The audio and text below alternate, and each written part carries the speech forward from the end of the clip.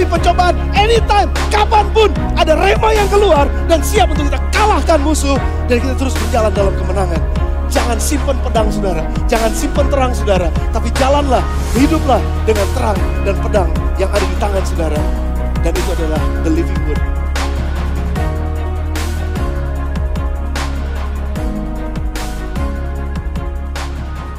Kita haleluya. Terima kasih. Silakan duduk wahai saudara. Terima kasih kepada tim New Life yang sudah melayani kita dan semua yang sudah melayani dan bisa membuat hari ini terjadi. Tentunya di atasnya kita bersyukur kepada Tuhan. Baik, semua dalam keadaan baik? Yes. Ya, nah seperti tadi Abraham sudah menyampaikan bahwa kita akan uh, membaca kebenaran firman Tuhan dan merenungkan firman Tuhan siang hari ini berkenaan dengan jalan bareng ya, jalan bareng. Kenapa? Karena ini harus menjadi nilai kita, ini harus menjadi spirit kita, ini harus menjadi attitude kita, ini harus menjadi respon kita kalau kita mau berjalan bersama-sama yang sebenarnya bahasa yang mungkin lebih mengena untuk dimengerti adalah kerjasama, ya teamwork, sehingga sesuatu yang besar itu menjadi mungkin akan bisa terjadi karena orang yang sendirian tidak bisa melakukan banyak hal. Haleluya. Ya, jadi karena Tuhan memiliki tujuan yang lebih besar daripada apa yang kita bisa pikirkan dalam diri kita sendiri. Tuhan punya tujuan yang sangat besar. Dan kalau kita merindukan bahwa Tuhan, apa yang kau maksudkan itu jadi dalam kehidupan saya, maka attitude ini yang kita harus punya, mau jalan bareng-bareng. Mau bekerja sama. Ya. Tujuan Tuhan sangat besar untuk sebuah pernikahan. Apa sih? Apa sih tujuan Tuhan untuk sebuah keluarga? Ya, kita mungkin bermimpi, Tuhan kami ingin menjadi keluarga yang harmonis. Kami ingin menjadi keluarga yang berdampak bagi keluarga-keluarga yang lain. Tapi guys dan saudara-saudara, tahukah kita bahwa untuk menjadi keluarga yang harmonis, untuk menjadi keluarga yang berdampak, ada effortnya. Ya, ada ada bagian yang kita mesti lakukan untuk jalan bersama-sama sebagai satu keluarga. Makanya kita harus mengesampingkan kadang-kadang ya anak-anak muda saya mengerti ini. Kadang-kadang kita uh, kita lupa dengan tujuan yang lebih besar itu dan melihat bahwa tujuan yang lebih besar itu sebenarnya nggak lebih penting daripada jadwal saya hang out dengan teman-teman saya yang padahal kita ketemu setiap hari. Dan kita mulai mengabaikan pertemuan-pertemuan di dalam keluarga. Kita mengabaikan untuk pergi bareng dengan orang tua. Kita mengabaikan pada banyak hal yang bernyangkut paut dengan urusan keluarga dan sepertinya kita punya agenda sendiri. Dan kalau kita berpikir bahwa dan kita percaya bahwa ada tujuan yang lebih besar. Ada pencapaian yang lebih besar, ada dampak yang lebih besar. Well, kita perlu memikirkan kembali agenda kita. Kita perlu memikirkan kembali keinginan-keinginan kita. Kalau kita mau jadi keluarga yang berdampak, ah, kadang-kadang kita mesti menahan diri dari keinginan kita supaya ya kan jatahnya beli baju pak, kan jatahnya beli baju mah. Udah jatahnya, padahal baju udah selemari, sepatu udah tiga lemari misalnya. Ada saudara yang mesti ditolong, nggak bisa relain, kenapa?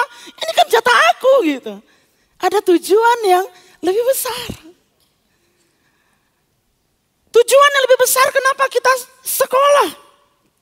Karena kita punya masa depan yang jauh lebih baik. Kita punya wawasan yang lebih luas. Kita sedang mempersiapkan sebuah generasi yang benar-benar berhikmat dan takut akan Tuhan. Tapi kadang-kadang itu dikalahkan hanya karena lagi mager gitu. Udah deh bolos aja deh, aduh lagi males gitu ya. Dengan berbagai macam cara. Sakit gigi lah, karena kan papa mama gak bisa rasa. Sakit perut lah, Padahal itu lagi mager. Hei, mari lihat tujuan yang lebih besar. Kita sebagai anak perlu bekerja sama dengan orang tua yang sudah mengupayakan. Amin.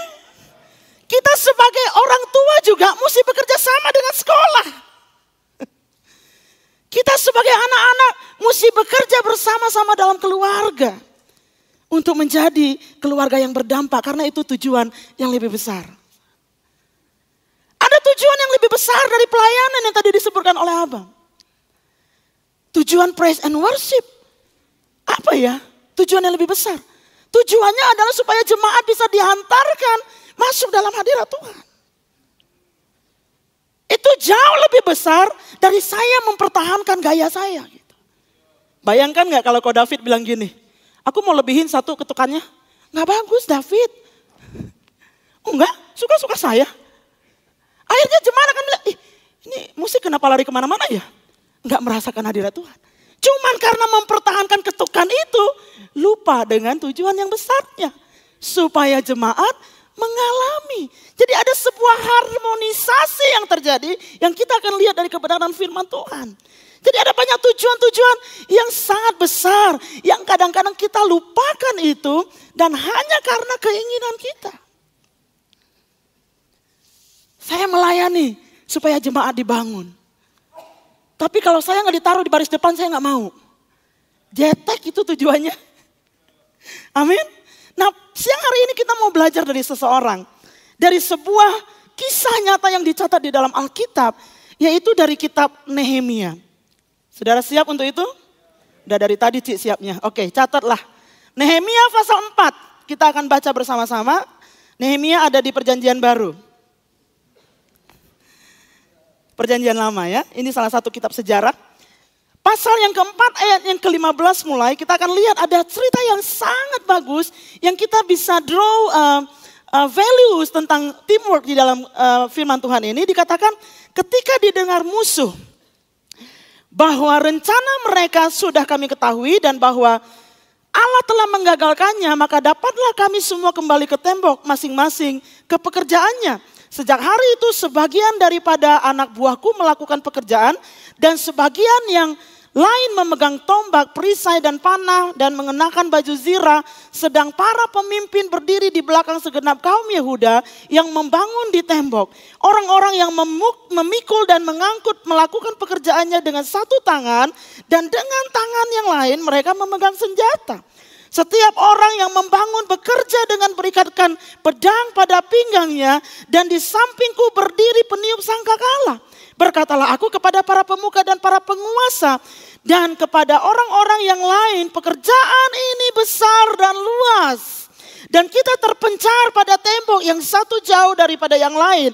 Dan kalau kamu mendengar bunyi sangkakala di suatu tempat, berkumpullah ke sana mendapatkan kami Allah kita akan berperang bagi kita.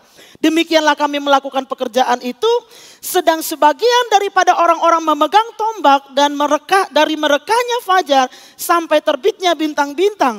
Pada waktu itu juga aku berikan ke, perintah kepada rakyat, setiap orang dengan anak buahnya harus bermalam di Yerusalem supaya mereka mengadakan penjagaan bagi kami pada malam hari dan melakukan pekerjaannya pada siang hari. Demikianlah aku sendiri, saudara-saudaraku, anak buahku dan para penjaga yang mengikut aku. Kami semua tidak sempat menanggalkan pakaian kami. Setiap orang memegang senjata dengan tangan kanan. Nah, here is the story. Ya, ini ceritanya. Bahwa satu ketika tembok Yerusalem itu runtuh. Saudara tahu bahwa orang-orang Israel pernah mengalami pembuangan. Jadi mereka dibuang ke Babel. Ya, dan apa yang terjadi dengan kota Yerusalem yang mereka tinggalkan itu hancur, termasuk tembok. Dan tembok adalah salah satu bagian yang sangat penting untuk perlindungan kota. Tembok itu adalah identitas sebuah kota pada masa itu. Jadi itu sangat penting. Nah Bapak Saudara dan teman-teman yang saya kasihi, pada saat itu tembok Yerusalem mengalami kehancuran yang sangat hebat. Tapi karena mereka sebagian besar ada di daerah pembuangan, tidak ada orang yang bisa membangun kembali tembok itu karena mereka sedang berhadapan dengan musuh. Makanya Nehemia pada waktu itu karena dia begitu mengasihi Allah, Yerusalem adalah tempat yang suci bagi umat Israel, kota Allah. Jadi dia punya kerinduan. Dia bilang aku pengen pulang untuk bisa membangun kembali tembok Yerusalem. Dan pada akhirnya ketika orang-orang Israel mencoba membangun kembali, pekerjaan itu menjadi sangat sulit. Akhirnya mereka berhenti dan di sini Nehemia datang kembali dan dia membangun kembali tembok Allah. Tapi Nehemia melakukannya itu bukan sendirian. Kalau kita baca tadi ada orang, kalau saudara baca ayat tadi ada satu kata yang sering muncul, sebagian orang mengerjakan ini, sebagian orang mengerjakan ini, sebagian orang mengerjakan ini. Ada yang berjaga-jaga sambil pegang tombak, ada yang mengerjakan pekerjaan dan mereka gantian. Dan ini seperti sebuah keteraturan yang sangat luar biasa yang akhirnya menyembahkan tembok itu berhasil dibangun kembali. Kemarin ada yang tanya sama saya, kok di dalam ayat-ayat itu dimunculkan ada yang lagi ngebangun sambil pegang tombak? Iya, karena ngebangun sambil perang. Makanya pekerjaan itu menjadi sangat sulit. Tapi Nehemia diberikan hikmat oleh Allah.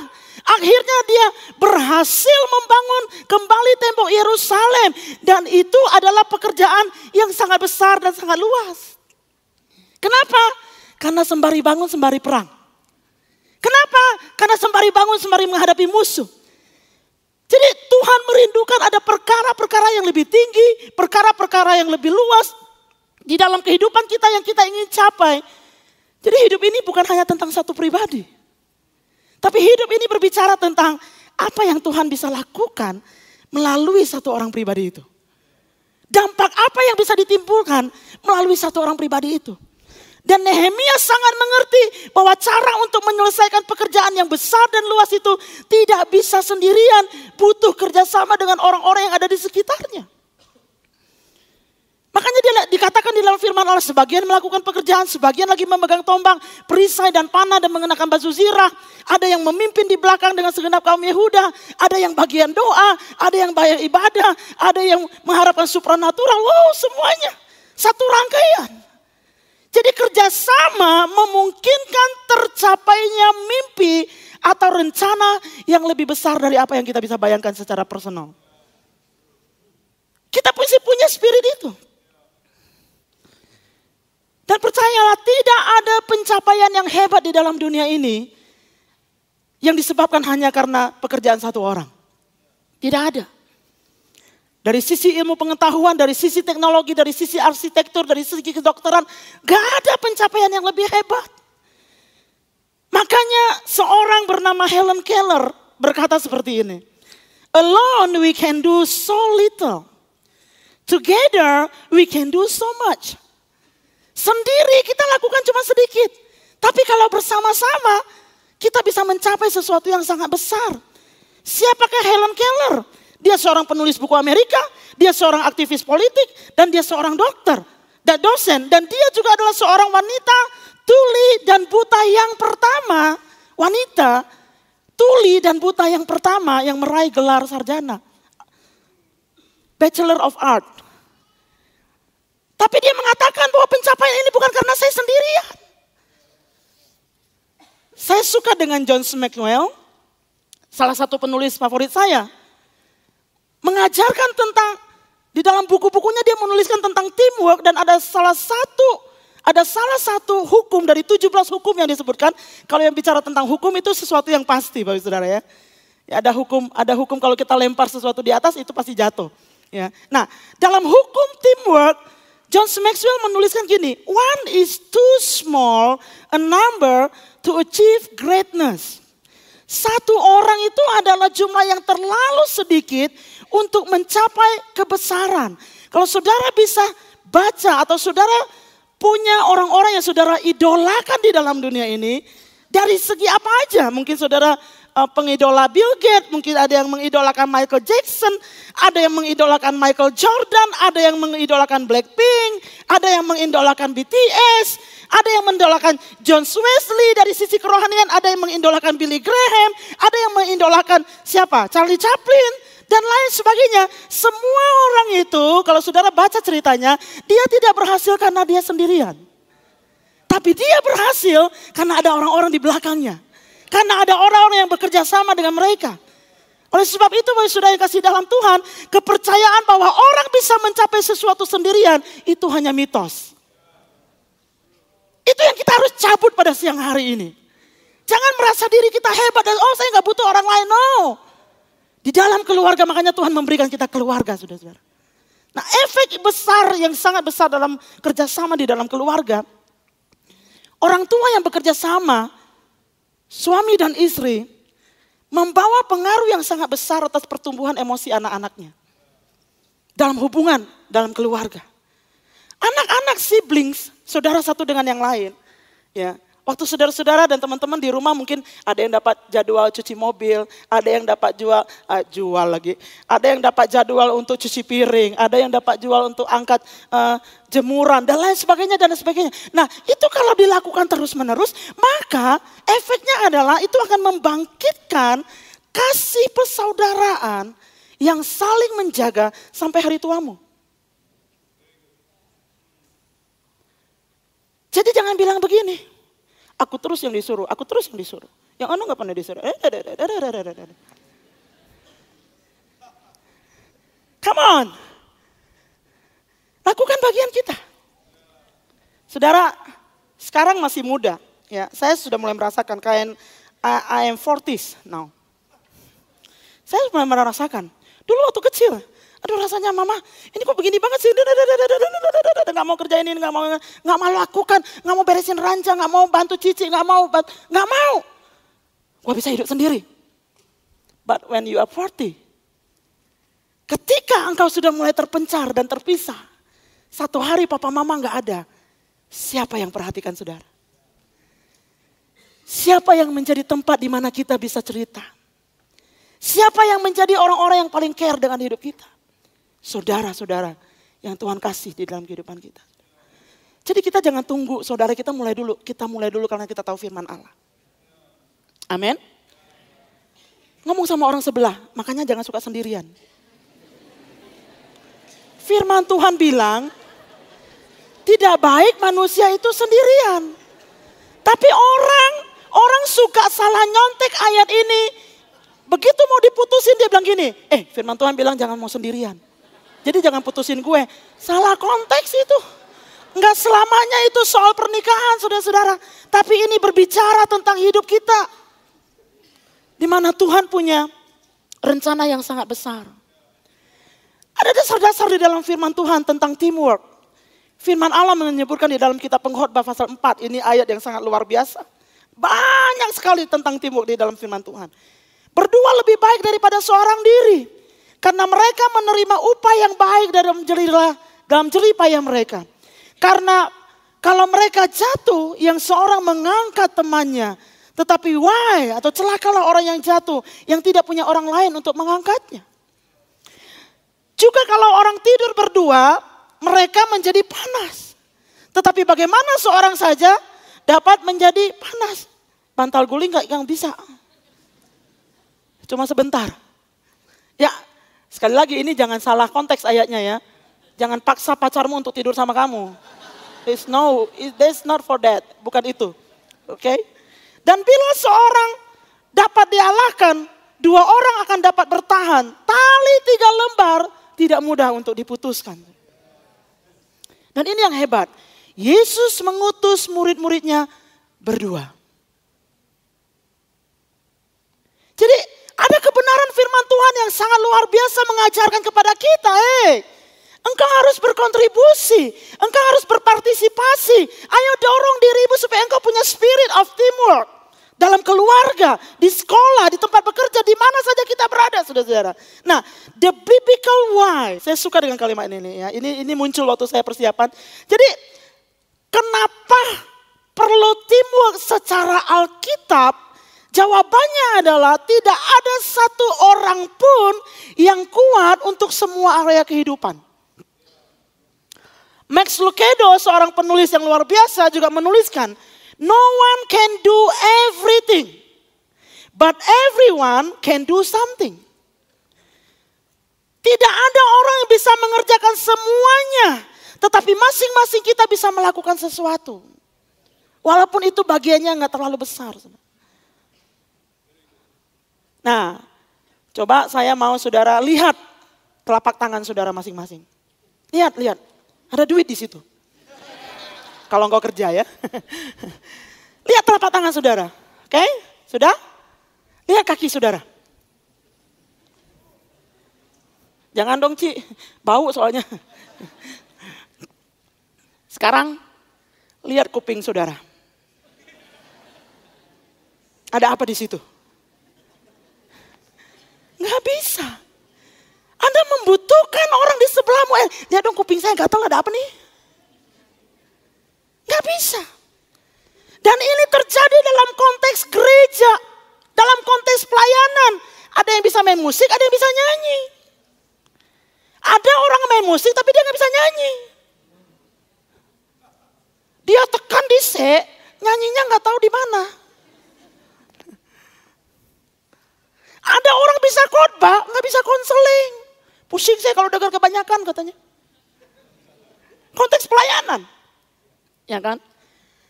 Ada orang yang punya kemampuan yang luar biasa mengajar, tapi dia nggak bisa memuridkan orang lain. Ada orang punya kekuatan untuk bisa membangun hubungan dan berelasi dengan orang lain, tapi ada yang nggak bisa. Saya kalau lihat orang banyak saya pusing, cina. Dalam konteks keluarga, di dalam keluarga tuh ada yang pintar cari uang, tapi nggak bisa ngatur uangnya. Ada nggak? Ici itu saya banget sih, Ci. Saya tahu itu ada suara hati yang ngomong begitu. Cari uang bisa, ngatur nggak bisa. Makanya Anda untuk menteri keuangan di rumah. Saya suka masak, tapi saya sebenarnya nggak suka makan. Bawa ke rumah saya.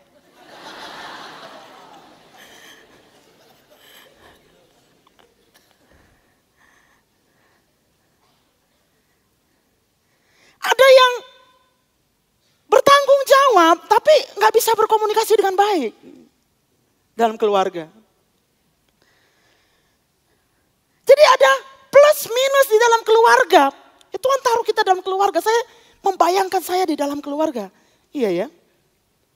Plus minus. Papa saya udah 70 tahun. Saya punya kakak dua, adik dua. Cici saya bisa bayarin papa saya jalan-jalan. Tapi dia nggak bisa bawa papa saya jalan-jalan. Saya bisa bawa papa saya jalan-jalan. Coba. Jadi kalau dalam satu keluarga kita bekerja bersama-sama, heaven is on earth. Orang akan bilang, ih asik ya keluarga dia ya. Ada yang cari duit, ada yang ngabisin duit. No, no, itu bukan nilainya, bukan itu maksudnya. Ya, kita semua belajar. Kita semua belajar. That's good. Dalam konteks dunia usaha. Ada yang bisa produksi lancar tapi nggak bisa jualinya.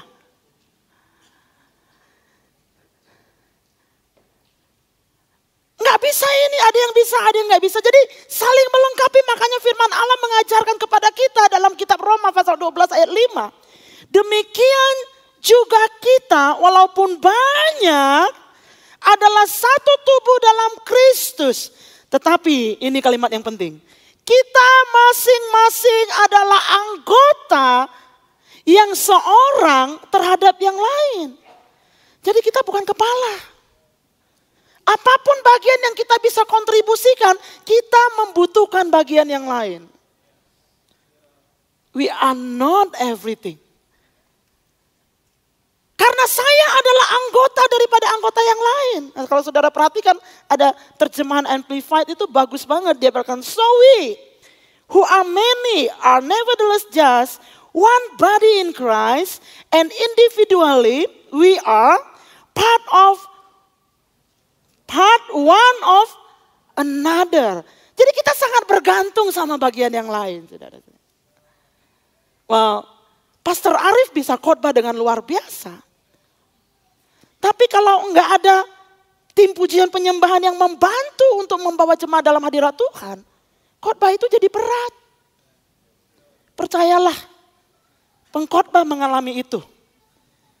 Kadang-kadang kalau pujian penyembahan tidak siap, kita kayak ngomong sama tembok. Kita membutuhkan semua bagian. Sebuah blog di internet, project manager menyebutkan, teamwork is a fuel that allows common people to attain uncommon result.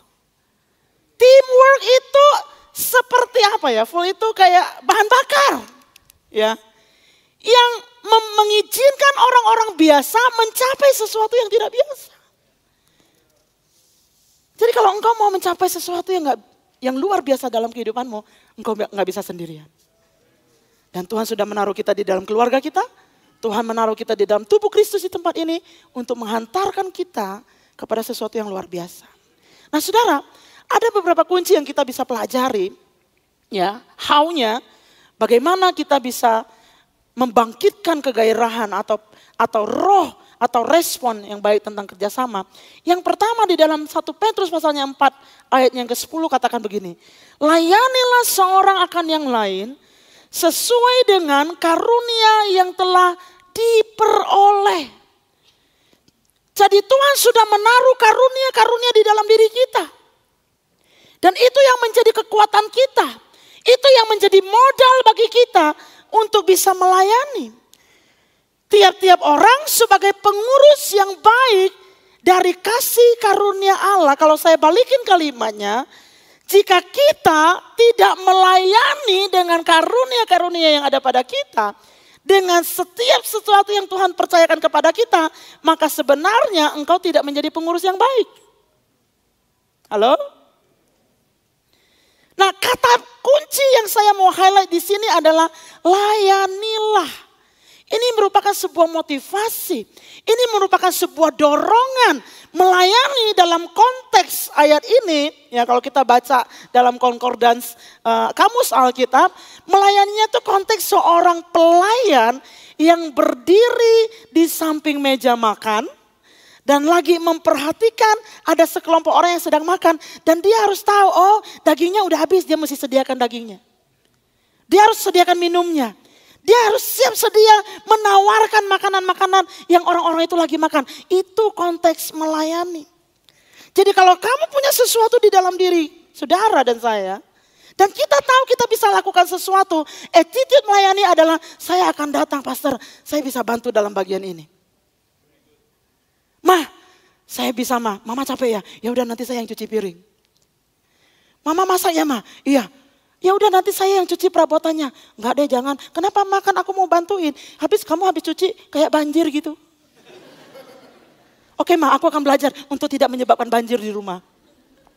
Saudara ngerti maksudnya? Attitude seorang pelayan itu dimulai dari ketika kita mau melayani, ketika kita melihat apa yang kurang dan di situ kita punya passion di dalam diri kita. Kita punya kegairahan, kita punya holy discontent. Apa itu ya? Ketidakpuasan yang kudus gitu. Aduh, saya sebenarnya bisa lakukan ini lebih baik lagi. Tawarkanlah dirimu. Berikanlah dirimu. Karena firman Allah katakan, layanilah seorang akan yang lain. Sesuai dengan karunia yang telah diperoleh. Nah saudara-saudara, untuk melihat sesuatu yang lebih baik itu karunia. Kalau saudara bisa, saya bisa melihat, eh ini kayaknya bisa lebih baik dengan cara seperti ini. Itu karunia. Dan kita harus pakai itu untuk melayani. Saudara. Melayani dengan cara menyediakan.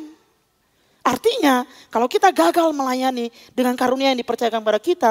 Berarti kita gagal menjadi penata layan yang baik di hadapan Tuhan. Jadi bagaimana saya bisa bekerja sama? Lakukan bagianmu. Layani satu dengan yang lain. Saudara-saudara. Makanya firman Allah mengajarkan jika karunia untuk melayani, baiklah kita melayani.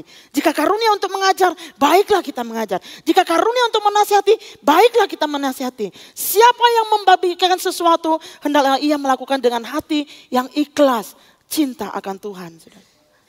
Jadi layani, jangan nuntut. Oke? Satu ranjang berdua nih sama kakak, sama cici, sama adek misalnya. Aku terus yang beresin, aku terus yang beresin. Ya udah lakukan aja. Sekali-sekali Ci, boleh nggak tolongin aku? It's okay, bangun komunikasi dalam keluarga. Lakukan bagian kita. Jangan tuntut orang lain untuk melakukan bagiannya. Amin. Itu permulaan yang baik. Yang kedua, apa kuncinya kerjasama? Jika kita adalah anggota seorang dari yang lain, maka lihatlah yang di sebelahmu, di rumahmu, di sekolahmu, atau orang yang ada di sekelilingmu, itu sebagai satu tim. Bukan sebagai sebuah musuh, bukan sebagai saingan, tapi tim. Suami, lihat istrimu sebagai tim, bukan lihat istri orang lain. Lihat istrimu sebagai tim untuk membangun anak-anak. Anak-anak, lihat orang tuamu sebagai tim. Saya belum bisa menghasilkan uang, tapi papa, papa mama yang menghasilkan. Dan bagian saya adalah sekolah. Bagian saya belajar dengan benar. Bagian saya membantu di dalam rumah. Bagian saya adalah meringankan pekerjaan mereka dengan tenaga yang saya punya, kemampuan yang saya punya. Itu bekerja sebagai tim. Jangan lihat orang tuamu sebagai musuh. Ini yang selalu menghalangi keinginan saya. Mentang-mentang saya anak papa, mama nih musuh saya nih. Kalau nggak ada mama yang menjaga kamu, kebablasan kamu. Lihat orang tua sebagai tim. Lihat kakak adik sebagai tim. Lihat gurumu sebagai tim. Jangan karena jangan karena apa yang kita inginkan tidak selalu tercapai karena itu tidak baik untuk kita menurut pemandangan orang-orang yang ada di atas kita dan kita melihat itu sebagai sebuah musuh. Dan kita akan sulit untuk melihat sesuatu yang besar terjadi kalau demikian. Karyawan, lihat rekan kerjamu sebagai tim. Lihat bosmu sebagai tim. Susah, pastor. Kalau bos saya tuh cuma ngatur-ngatur doang, ya memang dia bos. Jadi maunya gimana dong? Susah saya tuh kerja sama sama dia. Kenapa? Dia tuh kalau kalau kalau ngomong tuh pakai marah-marah. Susah saya tuh kerja sama. Saudara-saudara, ada banyak alasan kita tidak melakukan dengan baik. Tapi kalau kita mau melihat ini sebagai satu tim, di mana pun kita berada, percayalah sesuatu yang besar sedang terjadi. Seperti bangunan yang bagus. Tukang bangunan itu aja bervariasi. Ada tukang keramik, ada yang bagian plumbing, ada yang bangun rangka, ada bagian tukang besi, ada tukang kayu, itu beda-beda semua.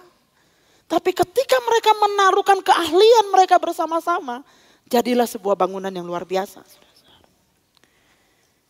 Yang ketiga firman Allah mengajarkan kepada kita kunci untuk bekerja sama. Kerjasama satu dengan yang lain yang harus kita waspadai dan kita harus hindari adalah, yang kita harus lakukan adalah kesampingkan perbedaan dan kepentingan pribadi. Jangan biarkan ego menguasai kita. Yakobus menuliskan ini di dalam Yakobus pasal 4 ayat yang pertama. Dari manakah datangnya sengketa dan pertengkaran di antara kamu? Bukan datangnya dari hawa nafsumu yang saling berjuang di dalam tubuhmu. Efesus melanjutkan itu di dalam Efesus pasal 2 dan 3 dan 4. Dengan tidak mencari kepentingan sendiri atau puji-pujian yang sia-sia, Sebaliknya hendaklah dengan rendah hati yang seorang menganggap yang lain lebih utama daripada dirinya dan janganlah tiap-tiap orang hanya memperhatikan kepentingan sendiri tetapi kepentingan orang lain juga. Saudara, ketika kerjasama itu sulit, di situlah ego kita dipangkas. Saya ulangi lagi ya. Ketika kerjasama itu menjadi sulit, di situlah ego kita dipangkas. Dan kita akan semakin serupa dengan Kristus. Ini yang hebat. Kalau kita berhasil menghidupi kunci-kunci ini, maka yang terjadi adalah alignment atau kesejajaran atau sinergi. Firman Allah mengatakan tadi. Nah, alignment atau keselarasan itu akan mendatangkan anointing atau pengurapan. Dan pengurapan itu adalah awal dari sebuah mujizat terjadi. Saya ulangi, alignment mendatangkan pengurapan. Pengurapan itu mendatangkan perkara-perkara yang supranatural. Yang kita pikir itu nggak mungkin bisa tercapai. Tapi kalau engkau hidup bekerja sama, kalau engkau punya spirit yang baik, maka tidak ada yang mustahil karena berkat Tuhan ada di situ. Mazmur 133 mengajarkan, sungguh alangkah baiknya dan indahnya jika saudara seiman hidup dalam persatuan. Persatuan itu yang dimaksud adalah alignment, keselarasan, satu dalam spirit, satu dalam purpose atau tujuan, satu dalam visi. Kalau itu kita taruh di depan dan kita mengupayakan itu seperti yang dikatakan dalam kitab Efesus pasal yang keempat, yang ketiga. Dan berusahalah memelihara kesatuan roh oleh ikatan damai sejahtera. Garis bawahi kata usaha. Itu butuh energi. Itu butuh effort. Itu butuh untuk mengalah kadang-kadang itu butuh untuk melepaskan ego kita. Itu butuh untuk menanggalkan kesombongan kita. Itu butuh menaruh agenda kita. Ya udah, yang buat saya nanti aja. Yang ini dulu karena ada kepentingan yang lebih besar. Kalau alignment itu terjadi, maka pengurapan Tuhan akan datang. Kalau pengurapan Allah terjadi, maka hal-hal yang supranatural itu akan terjadi dalam kehidupan kita. Dan kita akan berkata, wow, seperti Nehemia Wow. Akhirnya tembok yang hancur. Tembok yang dihancurkan oleh musuh. Tembok yang kelihatannya sudah gagal pertama kali coba untuk dibangun itu udah nggak bisa. Kondisinya sangat sulit. Tapi karena kerjasama yang baik. Jalan barengnya bagus. Maka tidak ada yang mustahil bagi Tuhan kita. Amin saudara. Pastor Rick Warren menuliskan ini. A team spirit is never accidental. Roh kerja bareng itu. Roh kerja bersama-sama itu. Roh jalan untuk bareng-bareng itu. Tidak pernah terjadi kebetulan. It is always intentional. Harus selalu dibangun dengan sengaja. Ada tantangan pada pagi hari ini, saya percaya saudara-saudara dan saya juga mengalami itu. Ada beberapa di antara kita yang sulit untuk bekerja sama dalam keluarga. Selalu memberontak. Enggak mau ngikutin arahan padahal tahu itu benar, itu baik untuk diikuti. Ada kita yang suka membangkang dengan guru-guru di sekolah. Enggak punya spirit untuk kerjasama. Ayo dong, Udah didorong, udah diajar. Tapi tetap aja dan kita menyadari itu ada di dalam diri kita. Siang hari ini kita mau datang kepada Yesus. Yesus adalah ultimate example. Contoh yang sempurna. Dia punya spirit kerjasama yang sangat luar biasa dengan Allah Bapa dan Allah Roh Kudus. Saudara ingat? Waktu dia dalam kondisi lapar, berpuasa 40 hari. Apa yang dilakukan? Roh Kudus membawa dia ke tempat di mana dia akan dicobain. Kalau Yesus nggak punya spirit kerjasama, hey, gue teh lagi lapar, udah capek. Yang pertama yang mau dilakukan untuk break the fast, buka puasa, itu makan. Bukan dibawa ke padang gurun. Saudara ngerti maksudnya? Tapi karena dia punya spirit teamwork yang baik. Dia tahu purpose yang lebih besar untuk bisa memberi contoh dan teladan kepada saudara dan saya, untuk mengempower kita dengan kebenaran bahwa firman Allah selalu menang. Dia rela untuk bekerja sama. Dia rela bekerja sama dengan Bapa ketika dia harus naik ke atas kayu salib. Secara manusia dia bisa dia bisa menolak karena dia juga berkuasa. Tapi dia tidak lakukan itu. Yang dia lakukan adalah dia bekerja bersama-sama dengan Allah Bapa dia bekerja bersama-sama dengan Allah Roh Kudus. Ujungnya saudara dan saya diselamatkan dan diberkati oleh Tuhan. Dampaknya dunia, Bo. Nggak main-main. Jadi kalau ada kita yang sulit bekerja sama di dalam keluarga. Ini waktu yang terbaik untuk datang kepada Tuhan. Belajar dari Yesus. Minta supaya dia mengimpartasikan kepada kita. Spirit of teamwork. Jalan bareng-bareng. Tuhan, saya mau. Saya harus belajar untuk melepaskan keinginan saya. Demi keutuhan dalam keluarga saya. Tuhan, saya harus belajar melepaskan ego saya pengen beli ini, pengen beli itu. Padahal ekonomi dalam keluarga lagi nggak bagus. Tuhan, saya harus Belajar untuk melepaskan keinginan saya sekolah di sekolah yang mahal mungkin atau yang yang yang kayaknya tuh ada brandnya. Yang penting kan sekolah. Dan memaksakan kehendak saya kepada orang tua.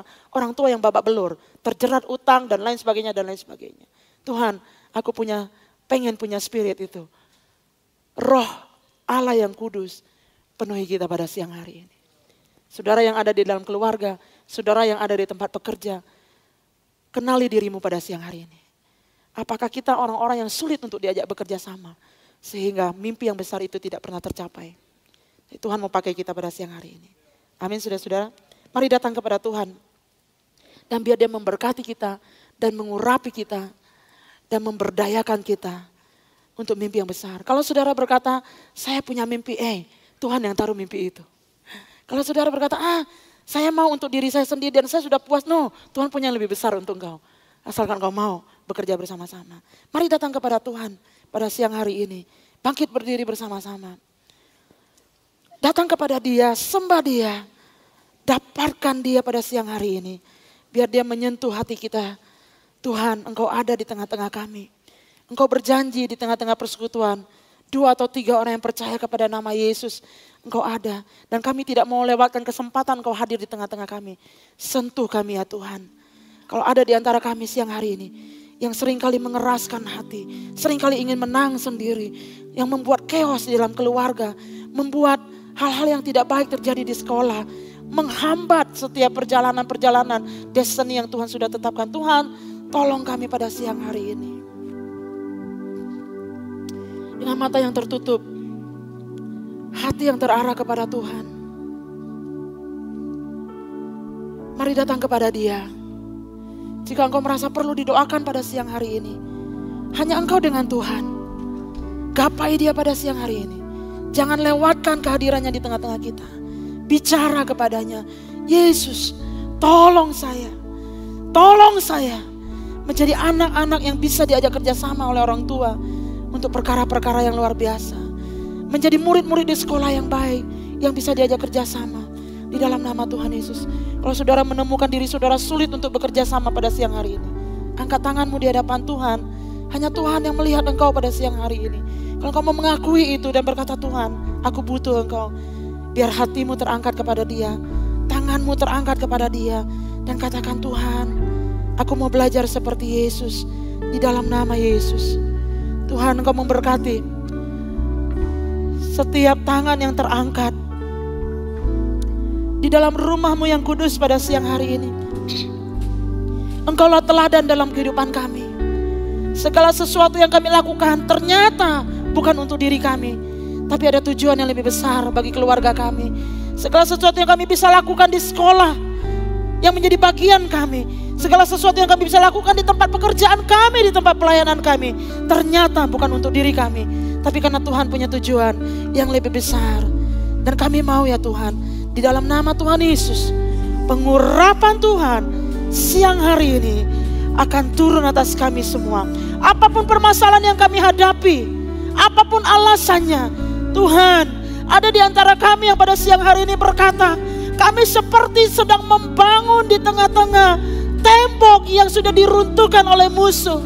Kami sepertinya sedang membangun di atas sesuatu yang sudah dijatuhkan dan diruntuhkan. Dan itu sepertinya sulit Tuhan, sulit Tuhan. Saya mau katakan pada siang hari ini tidak ada yang mustahil bagi Tuhan. Jika engkau mau datang dan berkata, Yesus, Engkaulah panutanku, impartasikan kepadaku siang hari ini. Aku mau melakukan segala sesuatu, bukan karena diriku, tetapi karena mimpi yang Tuhan taruh, yang Tuhan akan capai di dalam kehidupanku. Terima kasih ya Bapak di dalam surga. Berkati setiap tangan-tangan yang terangkat, setiap kepala keluarga, setiap orang tua, setiap anak-anak, setiap murid, setiap karyawan yang ada di tempat ini. Tuhan, kami mau belajar untuk melakukan bagian kami dengan memusatkan pembangunan ini kepada nama Tuhan yang dimuliakan. Terima kasih Bapak, terpujilah Engkau kekal selama-lamanya. Di dalam nama Tuhan Yesus.